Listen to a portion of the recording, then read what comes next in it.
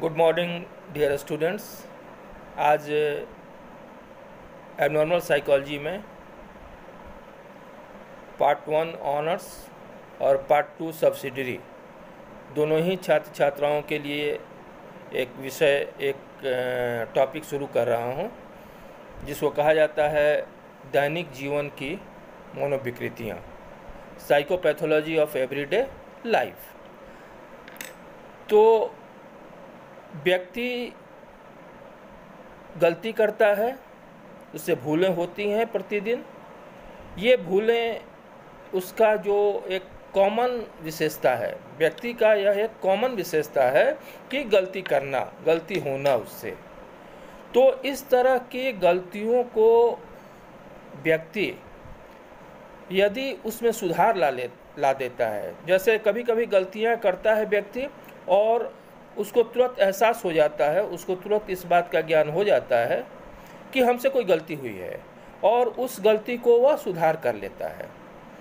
तो जिस गलती का एहसास, जिस गलती के बारे में जानकारी व्यक्ति को हो जाए, वह दैनिक जीवन, ये मनोविकृति के अंतर्गत नहीं आता है। मनोविकृति के अंतर्गत वही गलतियाँ आती हैं जिस गलती को करने के बाद भी व्यक्ति को एहसास नहीं हो, व्यक्ति को ये पता नहीं चले कि यह गलती मैंने की है। यदि कोई व्यक्ति उसको यह बतलाता है, दूसरा व्यक्ति यदि बताता है कि तुमने ये गलतियाँ की हैं तो वैसी परिस्थिति में भी उसके, उस गलती के कारण की जानकारी उसे नहीं होती है कि उसने इस तरह की गलती क्यों की। तो ये जो गलती है, ये जो भूले हैं। इसी को हम विकृति कहते हैं। इसी को हम साइकोपैथोलॉजी कहते हैं। मनोविज्ञान के अंतर्गत और सामान्य मनोविज्ञान के अंतर्गत इसी साइकोपैथोलॉजी का अध्ययन किया जाता है। इसमें फ्रायड ने 1914 में 1914 में एक पुस्तक लिखी, जिसका नाम था psychopathology of everyday life psychopathology of everyday life में फ्रायड ने बहुत सारी गलतियाँ या दैनिक जीवन की भूलों का चर्चा किया है, जिसमें उन्होंने कहा है कि हमारी कोई भी गलती, हमारी कोई भी दैनिक जीवन की भूल बिना किसी कारण की नहीं होती है। जब आदमी कोई व्यवहार कर देता है, जब कोई गलती करता है, कोई भूल करता है, और जब उससे पूछा जाता है कि आपने यह क्यों किया तो हम यह कह के उस बात को टाल देते हैं कि यह संजोग बस हो गया, यूँ ही हो गया, इसका कोई कारण नहीं है। लेकिन फ्रायड ने कहा कि ऐसा कोई भी व्यवहार हमारा नहीं होता है जिसका कोई कारण नहीं हो। हर व्यवहार के पीछे कोई ना कोई कारण अवश्य होता है।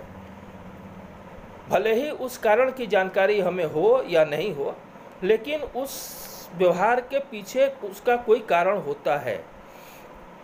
तो यदि हमको उसके कारण की जानकारी नहीं है तो निश्चित रूप से वह व्यवहार, वह भूल, वह दैनिक वह जो हमारी गलती है, वह अचेतन से गाइड हो रही थी। अचेतन के दमित विचार, कामों की इच्छाएँ, अतृप्त इच्छाएँ, कोई विरोधी स्वरूप या किसी तरह का कोई आक्रामक प्रवृत्ति, ये सब जो होती हैं, जो हमारे अचेतन में दमित रहती हैं ये दैनिक जीवन के भूलों के माध्यम से, दैनिक जीवन की गलतियों के माध्यम से, ये सारी जो गलतियाँ हैं, या दैनिक जीवन में ये जो भूलें हैं, वह अचेतन की वे वे दमित विचार ही हैं, वे दमित इच्छाएँ हैं, वह कामुक इच्छाएँ हैं, जो दैनिक जीवन के भूलों के माध्यम से अपनी पूर्ति करती हैं, अपना फुलफिलमेंट करती हैं।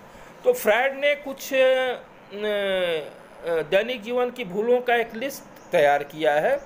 उन्होंने कहा है कि किस किस तरह की दैनिक जीवन में भूलें होती हैं? किस किस तरह की गलतियाँ हम रोज करते हैं? और इसको यह कह के हम टाल देते हैं कि बस यूँ ही हो गया, अनायास हो गया, या किसी को इसका कोई कारण नहीं है, बस हो गया। लेकिन फ्रायड ने कहा कि नहीं, हर गलती के पीछे, हर हमारी भूल के पीछे कोई ना कोई मनोवैज्ञानिक कारण है। अचेतन की दमित विचार है और उसकी अभिव्यक्ति हमारे दैनिक जीवन के भूलों के माध्यम से होता है। तो उसमें पहला जो उनके, ये है, वह है नामों का भूलना। प्रायः हम ऐसा देखते हैं कि हम किसी अपरिचित व्यक्ति, किसी सॉरी किसी परिचित व्यक्ति, किसी परिचित स्थान, किसी परिचित वस्तु का नाम भूल जाते हैं। हमें उस व्यक्ति का नाम अच्छी तरह से याद है। हम उस व्यक्ति को, के साथ काफ़ी दिन गुजारे भी हैं। उस व्यक्ति के साथ हम रहे हैं। उस स्थान पर हम गए हुए हैं। लेकिन कभी कभी होता है कि हम उसके नाम को भूल जाते हैं। क्यों होता है ऐसा? ऐसा इसलिए होता है कि कुछ चीज़ें तो ऐसी होती हैं जो भूल तो गए वह अस्थाई होता है अस्थाई नहीं होता है वह भूल अस्थाई होता है। नाम हम उसका भूल जाते हैं, लेकिन कुछ देर के बाद हमको उसकी याद आ जाती है। उसके नाम की याद आ जाती है। उस स्थान को हम याद कर लेते हैं कि वह स्थान अमुक था। कोई घटना इस डेट को घटी थी, हमको याद आ जाता है। लेकिन कुछ चीज़ें ऐसी होती हैं, कुछ हमारी गलतियाँ, नामों का भूलना वगैरह कुछ ऐसा होता है, जिसको लाख प्रयास के बाद भी हम उसको फिर से रिकॉल नहीं कर पाते हैं, हम उसको याद नहीं कर पाते हैं। इसका कारण होता है अचेतन की दमित इच्छाएँ। उस व्यक्ति से कुछ न, कोई ना कोई ऐसा हमको कोई ऐसा बिटर एक्सपीरियंस कुछ इस तरह की घटनाएँ कुछ इस तरह की यादें उस व्यक्ति से जुड़ी रहती हैं जो कि हमें उसके नाम को भूलने के लिए मजबूर कर देती हैं। और हम उस व्यक्ति का नाम भूल जाते हैं उस स्थान का नाम भूल जाते हैं। इसके लिए फ्राइड ने अपनी पुस्तक में the psychopathology of everyday life जो उनकी पुस्तक है उस पुस्तक में बहुत सारे दृष्टांत दिए हैं। बहुत सारे उदाहरण दिए हैं और उन उदाहरणों के द्वारा उन्होंने बताया है कि कैसे हम नाम को भूल जाते हैं। कैसे हम उस स्थान के नाम को भूल जाते हैं। उसके पीछे क्या क्या कारण है। तो कारण के लिए तो उन्होंने सीधा बताया कि वह कारण है अचेतन में दमित विचार। हमारी अचेतन में जो हमारी आक्रामक प्रवृत्ति है, उस व्यक्ति को हम भूलना चाहते हैं, उस व्यक्ति से हम नफरत करते हैं, उस व्यक्ति से उस व्यक्ति को हम याद रखना नहीं चाहते हैं, इसलिए हम भूल जाते हैं। तो नामों के भूलने के अंतर्गत यही आता है कि हमारा जो, हम किसी व्यक्ति का, किसी स्थान का नाम यदि भूलते हैं तो उसमें हमारी अचेतन की अतृप्त इच्छाएँ ही होती हैं। अचेतन के कारण ही हम उस नाम को भूलते हैं और उसका हम लाख प्रयास करने के बावजूद भी पुनः हम उसको रिकॉल नहीं कर पाते हैं। उसी तरह से दूसरा है ये, बोलने की भूल। पहला है नामों की भूल और दूसरा है बोलने की भूल। प्रायः हम देखते हैं। प्रायः है हम देखते हैं कि कुछ ऐसी भूलें होती हैं बोलने की, जो खुद हम आश्चर्य करने लगते हैं उन भूलों पे। बोलना कुछ चाहते हैं, बोल कुछ और जाते हैं। जैसे हम कुछ और बोलना चाहते हैं और बोल कुछ और जाते हैं। इसके लिए Meringer and Mayer, Meringer and Mayer ने कहा है कि यदि बोलने की जो भूलें होती हैं, प्रायः शब्दों की जो ध्वनियाँ होती हैं, उनमें यदि समानता हो तो ये भूल बोलने की भूल हो जाया करती है। ये मेरिंगर और मेयर का ये कथन है। उनका ये कहना है कि यदि बोले गए शब्दों के ध्वनियों में यदि समानता हो तो व्यक्ति बोलने की भूल कर दिया करता है। लेकिन फ्रायड ने इस बात को नकारा है। फ्रायड ने कहा है कि नहीं, ऐसी बात नहीं है कि ध्वनियों की समानता के कारण हम बोलना कुछ चाहते हैं, बोल कुछ और जाते हैं। उन्होंने फ्रायड ने कहा कि इन गलतियों के पीछे भी हमारा अचेतन है। हमारे अचेतन की दमित इच्छाएँ हैं। अचेतन के, इनके अनुसार गलतियाँ भी व्यक्ति के अचेतन से ही गाइड होती हैं। अचेतन में जो विचार दमित रहते हैं, वही विचार बोलने के माध्यम से आ जाते हैं। और बोलने के बाद जब कोई कहता है, कोई बताता है कि आपने अमुक बात बोल दी तो हम उसको, हम आश्चर्य व्यक्त करते हैं कि हम ऐसा ऐसी बातें कैसे बोल ब्राउन ने एक बहुत ही सुंदर उदाहरण दिया है बोलने की भूल के संबंध में। उनका एक मित्र था जिसको बहुत गर्व था अपने आप पर कि मैं अपने मित्रों में सबसे ज़्यादा काबिल हूँ, मैं सबसे ज़्यादा जानता हूँ। वह अपने एक दूसरे मित्र के एक लेख को समारोह उसके लेख के समारोह में, उसका जो ये लोकार्पण हो रहा था, उसके समारोह में वह भाग लिया और उसने, उससे, उसको बोलना था कि मैं इस महान लेख पर अपना तुच्छ विचार प्रकट कर रहा हूँ। लेकिन उस बात को वह नहीं बोल के, बल्कि बोला कि इस तुच्छ लेख पर मैं अपना महान विचार व्यक्त कर रहा हूँ। यहाँ पर ठीक उसका उल्टा, यानी कि उसके व्यामोह ये जो महानता का व्यामोह था, वह सामने आ गया। इस तरह से फ्रायड ने कहा है कि अचेतन की जो दमित इच्छाएँ होती हैं, वही हमारे बोलने की भूलों के माध्यम से उजागर होती हैं। उसी तरह से जो तीसरा तीसरा जो ये है, उसको कहते हैं पहचानने की भूल। वह जो है पहचानने की भूल है। जैसे कोई व्यक्ति जा रहा हो और पीछे से आप उसको आवाज़ दे देते हैं, अपने मित्र के नाम से उसे आवाज़ देते हैं, या किसी व्यक्ति को आप ए, ए, किसी अपने मित्र के की तरह पहचान के उसके नाम को आवाज़ दे देते हैं या उसके कंधे पर जाके पीछे से हाथ रख देते हैं ये सारी जो बातें होती हैं वे भी अचेतन की दमित इच्छाओं के कारण होती हैं। जब हम आप उसको पहचानने की भूल करते हैं जब उस पर अपना हाथ रखते हैं या उसके नाम से पुकारते हैं तो जब वह व्यक्ति पीछे मुड़ के देखता है तो आप सॉरी कह देते हैं और ये कहते हैं कि यह अनायास अनायास हो गया परंतु फ्रायड ने कहा है कि यह अनायास नहीं होता है, बल्कि इसके पीछे हमको मित्र से मिलने की जो हमारी इच्छा है, वह प्रबल इच्छा है, वह ज़ाहिर होती है। यानी कि अचेतन के दमित विचारों के कारण ही, उन विचारों के कारण ही हम पहचानने की भी भूल करते हैं। उसी तरह से अगला है लिखने की भूल। अक्सर ऐसा देखा जाता है कि व्यक्ति लिखना कुछ चाहता है, लिख कुछ और जाता है। हम लिखना कुछ और चाहते हैं और लिख कुछ और जाते हैं, फिर उसको काटते हैं, फिर दूसरी दूसरा शब्द लिखते हैं। तो इस तरह से जो लिखने की भूल होती है कि हम लिखना कुछ और चाहते हैं और लिख कुछ और जाते हैं। इसमें भी हमारा जो अचेतन का दमित विचार है, वही उजागर होता है। उसमें भी ब्राउन ने एक उदाहरण दिया है। कि एक मरीज़ जो डॉक्टर के पास गया और डॉक्टर ने जब उसको उसको दवा को प्रिस्क्राइब कर रहा था तो उस मरीज़ ने कहा कि डॉक्टर, इतना बड़ा पिल्स मत देना जिसे मैं निगल न सकूँ। ये जो लिखने की भूल है उसने ऐसा लिखा उसके पास डॉक्टर के पास कि ऐसा मत करना।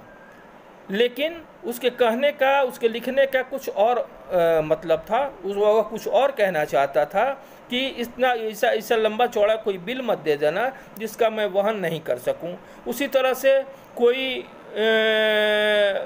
व्यक्ति किसी को पत्र लिख रहा हो, किसी मित्र को पत्र लिख रहा हो, अपनी पत्नी को पत्र लिख रहा हो, अपने किसी दूसरे किसी अपने हमदर्द को पत्र लिख रहा हो, और उस पत्र में वह बहुत सारी गलतियाँ करता हो, बहुत सारे कटिंग करते हों तो मनोवैज्ञानिकों का तो ये कहना है कि वह व्यक्ति जो पत्र लिख रहा था, उस व्यक्ति में पत्र लिखने की इच्छा नहीं थी, वह व्यक्ति पत्र लिखना नहीं चाहता परंतु किसी कारणवश वह लिख रहा है तो उस कारण से ये सारी गलतियाँ होती हैं। तो जो लिखने की भूल है, वह भी एक अचेतन के दमित विचारों के कारण ही होता है। उसी तरह से छपाई की भूल है, प्रेस जो होता है, प्रेस जहाँ छापाखाना होता है, वहाँ भी आप देखेंगे कि अखबार में कभी कभी किसी व्यक्ति के बारे में कुछ ऐसी चीज़ें छप जाती हैं जो कि नहीं छपना चाहिए। तो यहाँ बात, एक बात, एक आदमी की नहीं है। छापाखाने में बहुत सारे लोगों से एक ही मैटर, बहुत सारे लोगों से होके गुजरता है। और वैसी परिस्थिति में बहुत सारे लोग यदि उस गलती को नहीं देख पाते हैं, इसका अर्थ होता है कि वह उस छापाखाना में काम करने वाले सारे लोग उस व्यक्ति के बारे में उस गलत ओपिनियन रखते हैं उसके बारे में उनका जो मनोवृत्ति है, वह पॉजिटिव नहीं है। इस बात को दर्शाता है, क्योंकि एक व्यक्ति से हो सकता है कि गलती हो जाए। लेकिन वहाँ पे एक रीड प्रूफ रीडर होता है कंपोजर होता है। यानी कहने का मतलब कि बहुत सारे लोगों के से होकर वह गुजरता है और किसी का भी उस गलती पर नज़र नहीं आता है। इसका अर्थ होता है कि सारे उस कम, उस छापाखाना में काम करने वाले सारे लोगों की मनोवृत्ति उस व्यक्ति के प्रतिकूल रहा, जिसके कारण कि इस तरह की गलती हुई। उसी तरह से दूसरी जो दैनिक जीवन की भूल है, वह किसी वस्तु को बेजगह रख देना। आप अक्सर देखते हैं कि कभी कभी हम किसी चाबी के गुच्छे को ऐसा रख देते हैं लाख प्रयास करते हैं, बहुत खोजबीन करते हैं, इसके बाद भी वह नहीं मिलता है। कभी कभी किसी के द्वारा दी गई वस्तु, किसी ने कोई वस्तु दी और उस वस्तु को हम ऐसे जगह, और उस, रख देते हैं और उस वस्तु को जब वह व्यक्ति मांगने लगता है, जिस व्यक्ति ने हमको वह वस्तु दिया था, जब वह मांगने लगता है तो और उस वस्तु को जो हम खोजने लगते हैं उसको देने के लिए तो हम नहीं खोज पाते हैं। हमें नहीं मिलता है। लाख प्रयास हम करते हैं। बहुत सारा हम प्रयास करते हैं उसके लिए। पूरे घर को छान मारते हैं। देखने, देखते हैं कि कहाँ वह वस्तु है, लेकिन नहीं मिलता है। लेकिन जब उसकी उपयोगिता समाप्त हो जाती है, जब वह मांगने वाला व्यक्ति चला जाता है, जब वह भूल जाता है देने वाला व्यक्ति जिसने दिया था वह वस्तु तो वह वस्तु एकाएक हमें घर में ही कहीं मिल जाता है। तो यह क्यों होता है? यह इसलिए होता है कि चाहे तो हम उस वस्तु को देना नहीं चाहते थे, आगे वाले व्यक्ति को। आगे वाले व्यक्ति को हम देना नहीं चाहते थे, इसलिए। और नहीं तो कुछ चीज़ें ऐसी होती हैं जो हम बेजगह रख देते हैं और हम खुद उसके लिए परेशान हो जाते हैं, वह नहीं मिलता है।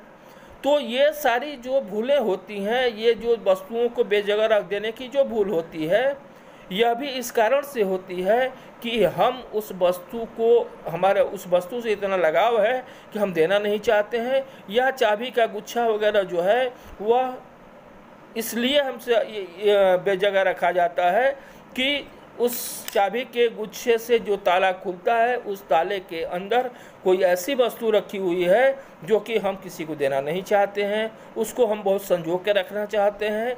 इसलिए चाह के भी हम उसको खोज नहीं पाते हैं, वह वस्तु समय पे नहीं मिलता है। उसी तरह से जो मैंने बता रहा था जो आपको कि पहचानने की भूल, पहचानने की भूल में भी कभी कभी ऐसा होता है। उसमें आप जोड़ लेंगे इस बात को कि पहचानने की भूल के अंतर्गत भी कभी कभी ऐसा होता है कि हम कोई व्यक्ति जिससे हम पैसे लिए हुए रहते हैं, जिससे उधार लिए हुए रहते हैं, वह व्यक्ति उस व्यक्ति के सामने से हम गुजर जाते हैं और उस व्यक्ति को नहीं देखते हैं। तो वह व्यक्ति हमको आवाज़ दे के हम कहता है कि क्यों? आज तो तुमको हम दिखाई भी नहीं दे रहे हैं। कल को तुमको पैसा लेना था तो मेरे पास आए थे और आज तुमको दिखाई भी नहीं दे रहे हैं। ऐसा नहीं कि वह व्यक्ति जानबूझ के नहीं देखा। उस व्यक्ति को ऐसा कदापि नहीं वो चाहता था कि हम उस व्यक्ति को नहीं देखें। लेकिन अचेतन मन में हमेशा इस बात का उसे डर बना रहता था कि जब भी वह व्यक्ति हम, हमको मिलेगा तो निश्चित रूप से अपने पैसे का डिमांड करेगा, अपना पैसा मांगेगा। तो इसलिए हम अचेतन मन से उस व्यक्ति का सामना नहीं करना चाहते थे। इसलिए वह व्यक्ति सामने रहने के बावजूद भी दिखाई नहीं देता था, हमको पहचान में नहीं आता था। उसी तरह से अन्य जो भूलें हैं, उसमें अनजाने में बहुत सारी और भी भूलें हो जाया करती हैं। अनजाने में बहुत सारी ऐसी भूलें होती हैं, जैसे कि किसी क्रिया को हम जो करते हैं, जो नहीं करना चाहिए था, उसको कर देते हैं। किसी बस, किसी व्यक्ति को कोई वस्तु देना है, उसको नहीं देकर किसी दूसरे व्यक्ति को दे देते हैं। किसी वस्तु को, किसी व्यक्ति को जिस नाम से बुलाना होता है, उस नाम से नहीं बुला के किसी दूसरे नाम से बुला लेते हैं। तो ये सब जो अन्य भूलें हैं दैनिक जीवन में, ये सारी भूलें भी हमारे अचेतन की दमित इच्छाएँ, हमारी जो आक्रामक प्रवृत्तियाँ होती हैं अचेतन के अंदर, या हमारी जो कामों की इच्छाएँ होती हैं, हमारी जो ऐसी अतृप्त इच्छाएँ होती हैं, जिन अतृप्त इच्छाओं की पूर्ति हमारे दैनिक जीवन में नहीं हो पाती हैं। वे इन दैनिक जीवन के भूलों के माध्यम से, इन दैनिक जीवन में की गलतियों के माध्यम से ये सारी भूलें, ये सारी जो इच्छाएँ हैं, उनकी संतुष्टि हो जाती है। यानी कि यह एक तरह से हमारे मेंटल मेकनिज़्म का काम करता है। एक तरह से यह हमारे मानसिक मनोरचना का काम करता है, जिससे हमारी मानसिक तनाव कम हो जाती है। अब हम यहीं पर ये चैप्टर आपका समाप्त होता है। दैनिक जीवन की भूलें साइकोपैथोलॉजी ऑफ़ एवरीडे लाइफ दूसरे दिन हम किसी दूसरे चैप्टर के से, के बारे में आपसे चर्चा करेंगे। तब तक के लिए आपको बहुत सारी शुभकामनाएँ। धन्यवाद। आप अपने घर में रहें, स्वस्थ रहें। यही मेरी कामना है आपसे। Thank you